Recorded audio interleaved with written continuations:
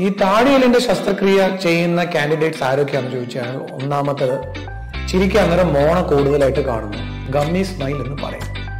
അത് വരാനുള്ള ഒരു കാരണം എന്ന് പറയുന്നത് മേലത്തെ താടിയലിന്റെ വളർച്ച വളരെ കൂടുതലാണ്. എന്ന് പറഞ്ഞാൽ മേലത്തെ താടിയൽ താഴോട്ട് കുറെ ഇറങ്ങും. അത് കാരണം കൊണ്ട് ചിരിക്കുമ്പോൾ മോണ കൂടുതലായിട്ട് കാണും. അത് നമുക്ക് സർജറി കൊണ്ട് പരിപൂർണമായി മാറ്റിയെടുക്കാവുന്നതാണ്